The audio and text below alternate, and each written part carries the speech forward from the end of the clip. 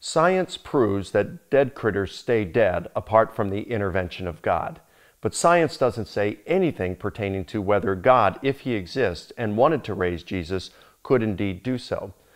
The illustration that I give is for my son, uh, say he's three years old. If 100 billion people try to walk across a lukewarm swimming pool and they all sink, the chances of my son walking across that lukewarm swimming pool is not 100 billion to 1.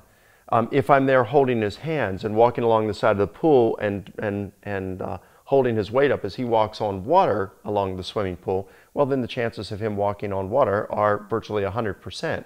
And 100 billion people being unable to do that says nothing about whether my son could do it. Now, maybe you'd respond and say, well, yeah, but you were an external agent who assisted him, so that's cheating. Well, precisely.